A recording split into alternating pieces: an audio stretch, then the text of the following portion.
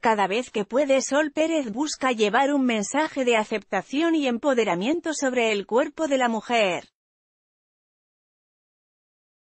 A través de las stories de Instagram dejó en claro que no es una chica perfecta, y que, como muchas, también tiene granitos, y que eso es normal en cualquier mujer real. Justo estaba pensando, qué bueno que te salga un grano en la pera, escribió, divertida junto a un video en el que aparece señalándose un barrito que le salió en el mentón. En una entrevista reciente Sol contó que en su adolescencia tuvo trastornos alimenticios, yo sufrí bulimia de chica, esos comentarios una los registra y después piensa que tiene que estar más flaca.